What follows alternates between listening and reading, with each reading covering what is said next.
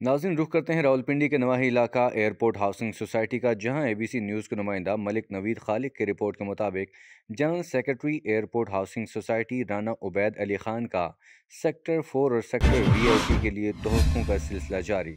तरक्याती काम तेज़ी से जारी। सेक्टर फोर और सेक्टर वीआईपी की मार्केट के अतराफ तीन साइड पर मुकम्मल सड़क की तमीर का काम शुरू कर दिया गया। इसके अलावा ladies and children park sector four में एक मज़ीद फ़िल्टर प्लांट की तमीर का काम भी आखिरी मराहल में जारी है। सेक्टर वीआईपी के अहलियाना इलाका की जानब से राना उबैद अली ख़ान और उनकी टीम का शुक्रिया अदा किया गया। क्योंकि इस सड़क से गाड़ी या मोटरसाइकिल तो क्या पैदल गुजरना तक महाल था। एबीसी न्यूज़ की हमेशा एक ही हमत अमली रही कि हमने आज दिन तक किसी खबर को बगैर तस्दीक के नशर नहीं किया और ना ही तनकीद, बरए तनकीद की पॉलिसी पर अमल किया, बल्कि ए बी सी न्यूज़ की हमेशा ये काविश रही कि तनकीद, बरए तामीर या असलाह के लिए ख़बर नशर की जाए, वो भी मुकम्मल ज़िम्मेदारी के साथ, ताहम इसी तरह राना उबैद अली ख़ान के आते ही और चार्ज संभालने के फ़ौर बाद ही। तामीराती कामों का जो आगाज़ हुआ, जो ताहाल जारी है, इसको देखकर राना उबैद अली ख़ान की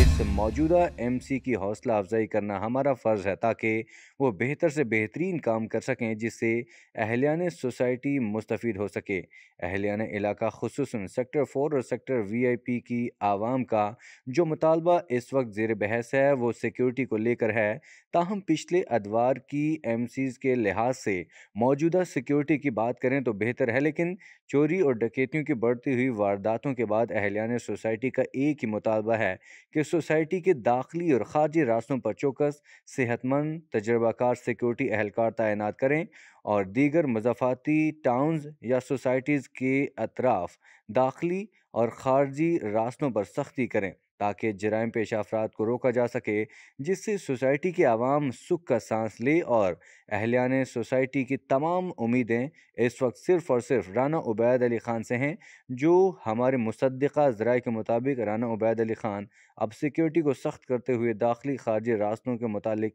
हमत अमली तैयार करते जा रहे हैं।